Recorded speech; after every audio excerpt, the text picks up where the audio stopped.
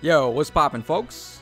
It's your boy Tacho here, and we are back for some more Fire Emblem Heroes. And today, very special, we get to talk about what is arguably the greatest resplendent artwork in existence, and possibly even the greatest artwork in Fire Emblem Heroes, period. Of course, I'm talking about Resplendent Eldigan. Now, unfortunately, I was not able to give you guys my live reaction to his art because, of course, they teased his artwork during Christmas, if I'm not mistaken. And I wasn't even home when this guy's artwork dropped. I was at my mom's house, and we spent the night there because, of course, holidays and whatnot. So, also, because of that, I wasn't able to do the Resplendent Delthea video. So, my apologies to everyone that was kind of hoping that I would do that video, and I ended up not being able to. It all just had to do with the schedule. I was very busy at that time, and they dropped all this stuff on Christmas. So, unfortunately, I didn't really have the chance to get to it. But regardless, Resplendent Eldigan, like, come on. this hell attire, making him look straight up like Count Dracula. This is exactly what I signed up for when I bought the Feh Pass. If we can get more artworks like this, I would be as happy as possible. In fact, let me tell you guys, there's so many characters from Jugdral that are so well dressed. Like, typically the males, if they just went ahead and gave us some more hell attires for them and made them look like Castlevania characters, I'm sure everyone would be happy with it. Like, come on, who wouldn't want a resplendent Reinhardt where he looks like Richter Belmont or something like that. I'm sure a lot of people would be down for that. And just Resplendent Reinhardt in general. Come on, IntSys, make it happen. The fans are just dying for it. But with that out of the way, let's actually go ahead and start talking about the builds for this guy now. So, if we take a look at Eldigan's base kit, he comes with Mystletainn, and it's basically just minus one special trigger. He also has Growing Light, Fury 3, and Lunge. So not the most impressive of base kits, unfortunately, but this guy came out very early on into the game's lifespan. So there's not too many base kit units from way back when that actually would be able to impress with their base kits now. So it's not really his fault. And recommended IVs for this guy, I gotta say, go for plus attack. It's gonna help you out in the most amount of builds you would want to run on him. But he does have a super boon in speed, and at higher investment levels and higher merges, the plus speed IVs do actually start to matter. So it's going to be up to you whether you want to go plus attack or plus speed on this guy. And simply put, if you're going to run a budget build, then plus attack is probably better. But if you have all the investment on him, then plus speed starts to look a little bit better. And for our budget build, we are going to be borrowing the weapon from Alucard, aka Ares, the son of Dracula. So, Dark Mystletainn, very powerful weapon. It's got minus one special trigger and then built-in special spiral. Pretty cool because you can cheat special spiral onto these cavalry units that are not normally able to inherit that skill. So it's pretty cool on them. And pretty much the idea is just get into vantage range and then you'll be able to spam bonfires left and right, pretty much killing everything in your path. So it's a pretty solid build. The only bad thing is that Ares is summonable as a 4-star on these banners, and he can basically pull off the exact same build. And in fact, he probably does it better, because Ares has a higher base attack than Eldigan, regardless of the plus 2 bonuses from the Resplendent alt. So I would recommend just using Ares instead of Eldigan, which is a shame because Eldigan's artwork is so god tier that it's just a shame that we can't really use him too well. Otherwise, though, this is a very good build. All you gotta do is stay clear of units that have Hardy Bearing or Fire Sweep or Dazzling Staff, and you should be fine. It's also not a bad idea to have units that can help him charge into Bonfire a lot quicker, as soon as you activate that first bonfire, pretty much everything should be smooth sailing. So maybe like Quick Pulse is a good idea for the seal, even though it is going to tank your damage by a little bit. Or you could go for Legendary Hector or Valoria for the support. And moving on to the high investment build on Eldigan, it's literally the exact same build except with distant counter.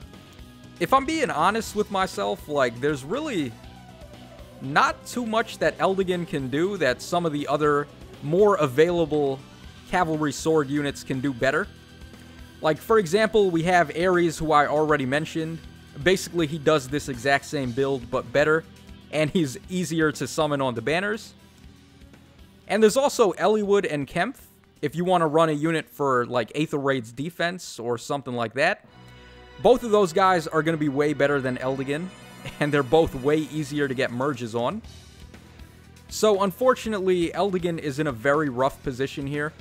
The competition for Sword Calves is just way too stiff, especially when he's 5-star locked and doesn't really offer all that much else that you could already get from Ares. But if you are a huge fan of this guy's artwork or you just like Eldigan in general, he's not really going to have too much of a performance difference between Ares, so feel free to just run whichever one you like more, I guess. And finally, we have a super high investment build here. This is where that plus speed super boon that I was talking about earlier is really going to pay off. So if you happen to have an Eldigan at plus 10, with the plus 10 from Dragon Flowers, and now the plus 2 to all stats from the Resplendent bonus, Eldigan can actually start to do some pretty interesting stuff. So the Refined Mystletainn has minus 1 special trigger, and it also comes with Fury 3 built in. So maybe you might be thinking, oh, well, all stats up 3, is that really that good? Compared to, I don't know, Asbel, who we just got, and that dude has plus 5 to all stats on his weapon. Yeah, I mean, the stat difference is definitely going to be apparent with some of the newer weapons, but there's a very key difference here, and that is the fact that Eldigan's Fury 3 on his weapon is actually giving him visible stats as opposed to invisible ones. So if you were to combo that with Fury 4, you can raise Eldigan's visible stats really high, and it's going to make him a prime target to soak in chill skills or bright shrines and dark shrines, and have him play a support type of role. You're also free to run any rally skill you want and then go for a ruse skill. I would recommend attack and speed ruse, but attack and defense ruse or defense and res ruse, pretty much whichever ruse skill you think is going to work out the best is going to be just fine. And you can go for a feint skill as well. Probably a feint skill that has a stat that is not targeted by the ruse skill. So you're going to be able to turn Eldigan into a giant stat ball and also a decent support and ruse type of unit. And if you wanted Eldigan to be the one to get all the action, then it's really not too hard to tweak the build in his favor. So you could go for Attack and Speed Push 4 over Fury 4 if you want. It's not going to give you as many visible stat bonuses, but the focused attack and speed is very nice.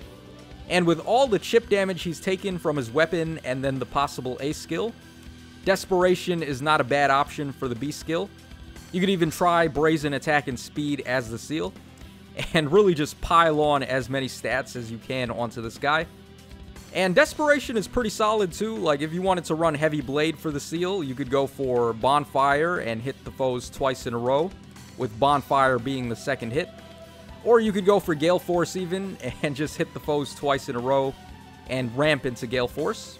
So at max investment, Eldigan's definitely got a lot of options. Except, like I said before, are you really going to have a plus 10 Eldigan unless he's one of your favorite characters? This is another example of a unit being 5-star locked that really doesn't need to be. Because there's no point in building Eldigan over units like Eliwood or Kempf, or even Ares instead. So a little disappointing that most people aren't going to be able to make the most out of this awesome artwork here. And it looks like our next Resplendent hero is going to be the Young Tiki. So shoutouts to 380 I'm sure 380 is going to be very excited to see this. And we have Tiki wearing the Embla attire, which I guess makes sense. We have a lot of girls wearing the Embla attire, like Sophia and Veronica and stuff. So I guess it's not a bad fit for Tiki. Maybe the fairy attire would have been okay on her as well. But I don't think the Embla attire is a bad choice. The only issue I have with this artwork, though, is that her head is a little bit too big. it's like Big Head Tiki. And her original artwork was honestly one of the few day one arts that I actually thought was really good. She just looks more bubbly and happy in the original artwork, and I think that suits Tiki a little bit better.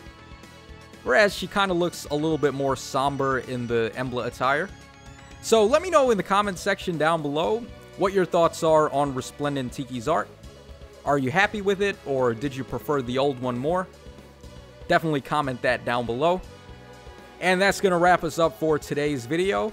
I hope you guys enjoyed the builds for Resplendent Eldigan. And I'm definitely hoping that we get some more artworks that look like this. but a man can only dream, right? But anyways, that's all for today. So this is your boy Tacho signing out. Thanks so much for watching the video, guys. And I will catch y'all again on the flip side.